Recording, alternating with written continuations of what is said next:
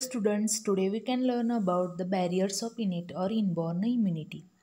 Barriers म्हणजे अडथळे. आपल्या शरीरामध्ये असणारी जी इनबॉर्न किंवा इनेट इम्युनिटी आहे त्याच्यामध्ये पाच अडथळे असतात. या पाच अडथळ्यांना पार केल्याशिवाय एखादा पॅथोजन किंवा फॉरिन सबस्टन्स आपल्या बॉडीमध्ये एंटर एंट्री करू शकत नाही.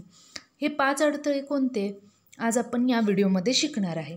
त्यातला पहिला अडथळा आहे epithelial surface or anatomical barrier यामध्ये येणाऱ्या ज्या गोष्टी आहेत त्या कोणत्या? बघूया.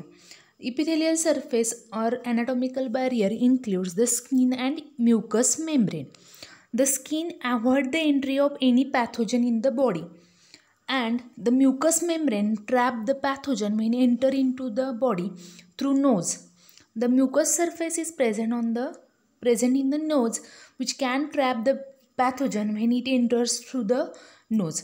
That's why this barrier is also called as first line of defense.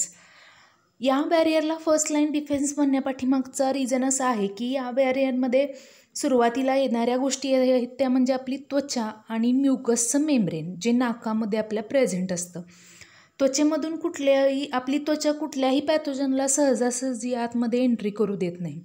त्याचप्रमाणे आपल्या नोजमध्ये असणारं नाकामध्ये असणारं म्युकस मेम्ब्रेन काय करतं? तर एखादा पॅथोजन एअर थ्रू आपल्या शरीरामध्ये एंट्री करत असेल नाकामधून तर तो म्युकस मेम्ब्रेन ट्रॅप करून ठेवतं. त्यामुळे तो पॅथोजन आपल्या बॉडीमध्ये एंट्री करू शकत नाही. म्हणून ह्या बॅरियरला फर्स्ट लाईन ऑफ डिफेन्स असं सुद्धा म्हटलं जातं. Then second barrier of the innate immunity is the anatomical substances in sorry antimicrobial substances in blood and tissue. This barrier includes the proteins which are present in the blood. There are about 30 inactive proteins are present in the blood serum. When any pathogen comes in the blood these inactive proteins get activated and it kill it could try to kill the pathogen. That's why this pathogen does not ca- can effect on our body. Uh, second the dif- different proteins which are present in our tissue that proteins also acts as a barrier. That's why these uh, antimicrobial substances can kill the microbes which are enter into the body. That's why this uh, second barrier is also called as physiological barrier. Next barrier the third barrier in our innate immunity is the cellular factors or phagocytic barriers. In this barrier the phagocytic cells are present uh, which are present in our tissue or in our blood different types of phagocytic cells are also present in different organs for example kupffer cells which are present in the liver this phagocytic barrier includes the phagocytic cells which can engulf the pathogen which are enter into the our body म्हणजे ह्या बॅरियरमध्ये काय आहे तर phagocytic cells असतात पेशी असतात या पेशी आपल्या बॉडीमध्ये आलेला जो पॅथोजन आहे त्याला गिळंकृत करतात आणि त्याला मारून टाकतात किल करतात. जेणेकरून तो जो मायक्रोब आहे तो जो पॅथोजन आहे आपल्या बॉडीवरती कुठलाही इफेक्ट करू शकणार नाही. त्यासाठी हा बॅरियर काम करत असतो. ज्याला फॅगोसायटिक बॅरियर किंवा सेल्युलर फॅक्टर्स म्हणतात. सेल्युलर फॅक्टर म्हणण्यापाठीमागचा रिझन असा आहे की याच्यामध्ये फॅगोसायटिक सेल्स येतात. म्हणून याला सेल्युलर फॅक्टर असं म्हटलं जातं. त्याच्यानंतरचा येतो तो चौथा बॅरियर तो म्हणजे फीवर जनरली हा जो बॅरियर आहे तो फिजिओलॉजिकल बॅरियर आहे. याच्यामध्ये फीवर म्हणजे बॉडीचं टेम्परेचर इन्क्रीज होणं.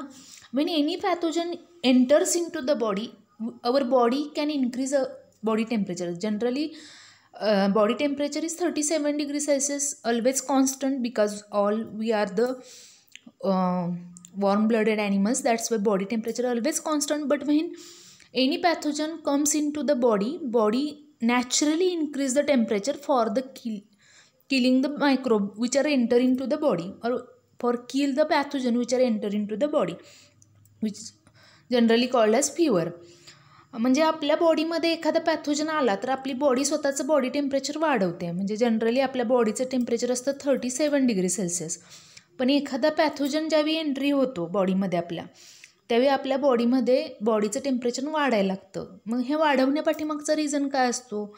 तर त्याच्यामध्ये त्या मायक्रोबला किल करण्याचा हेतू असतो. जर त्या टेम्परेचरला मायक्रोब किल झाला तर त्याचे जास्त इफेक्ट आपल्या बॉडीवरती दिसत नाहीत. ज्याला आपण ताप येणं असं म्हणतो. हे नॅचरल आहे. याच्यामध्ये काय होतं तर त्या मायक्रोबला किल करण्याचा बॉडी प्रयत्न करत असते. आणि पाचवा बॅरियर जो आहे त्याला acute phase proteins A P P S किंवा इन्फ्लामेटरी बॅरियर असं म्हटलं जातं. एखादं इन्फेक्शन किंवा एखादं ॲलर्जिक रिॲक्शन आपल्या बॉडीमध्ये झाली समजा.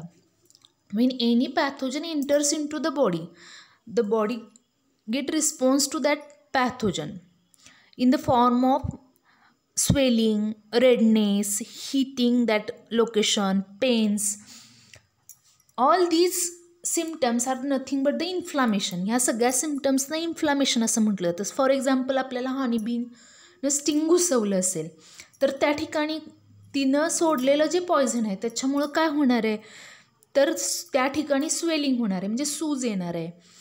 त्याच्यानंतर रेडनेस येणार आहे त्या ठिकाणी लालपणा येणार आहे. त्याच्यानंतर त्या लोकल इन्फेक्शनच्या ठिकाणी तेवढंच टेम्परेचर वाढणार आहे.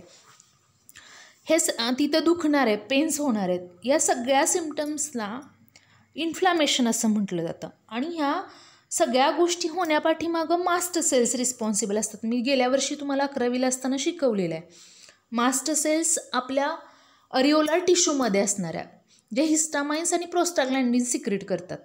आणि ह्या मास सेल्स तिथे ॲग्रिगेट होतात कलेक्ट होतात आणि त्या हिस्टामाइन्स आणि प्रोस्टाग्लँडिन्स जे सिक्रेट केलं जातं.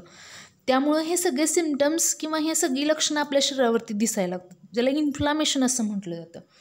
आणि ह्यांना ॲक्यूट फेज प्रोटीन्स असं म्हटलं जातं हिस्टामाइन्सना वगैरे. त्या ठिकाणी ते सिक्रेट केले जातात. अशा प्रकारे हे पाच बॅरियर आपल्या इनेट इम्युनिटीमध्ये काम करत असतात. या सगळ्या पाच बॅरियर्सना ज्यावेळी एखादा पॅथोजन पार करतो आणि त्यातून टिकतो त्यावेळी त्या आपल्या बॉडीवरती त्याचे वेगवेगळे सिमटम्स दिसायला लागतात. ही पाच बॅरियर पार केल्यानंतर आलेला जो पॅथोजन आहे तो टिकून राहिला आपल्या शरीरामध्ये. तर मग वेगवेगळे सिमटम्स म्हणजे फिवर जास्त होणं जास्त ताप येणं किंवा इतर काही लक्षणं दिसायला लागतात.